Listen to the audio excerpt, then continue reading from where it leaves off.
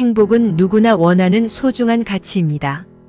하지만 행복은 쉽게 얻을 수 있는 것이 아닙니다. 행복한 삶을 위해서는 노력과 실천이 필요합니다. 행복한 삶을 위한 10가지 팁은 다음과 같습니다. 감사하는 마음을 가지세요. 감사하는 마음은 행복의 근원입니다. 주변 사람들과 세상에 대해 감사하는 마음을 가지면 삶이 더욱 풍요롭고 행복해질 것입니다. 긍정적인 생각을 가지세요. 긍정적인 생각은 삶의 에너지를 높여줍니다.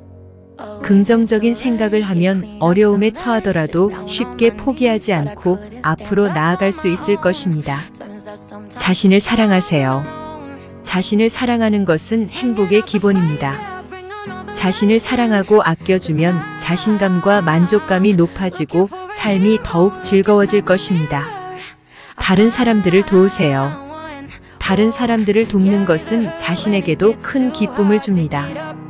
다른 사람들을 도우며 나눔의 기쁨을 느끼면 삶이 더욱 풍요롭고 행복해질 것입니다. 건강을 지키세요. 건강은 행복의 기본입니다.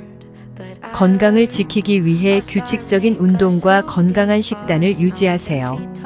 충분한 휴식을 취하세요. 충분한 휴식은 몸과 마음의 건강을 지키는 데 중요합니다.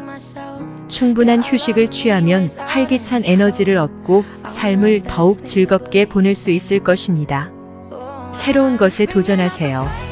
새로운 것에 도전하는 것은 삶을 더욱 풍요롭게 만들어줍니다. 새로운 것에 도전하며 새로운 경험을 쌓으면 삶이 더욱 재미있고 즐거워질 것입니다. 현재에 집중하세요. 과거에 연연하고 미래를 걱정하는 것은 행복을 방해합니다.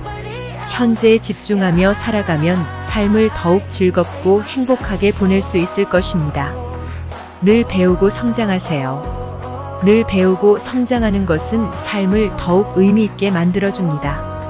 새로운 것을 배우며 성장해 나가면 삶이 더욱 풍요롭고 행복해질 것입니다.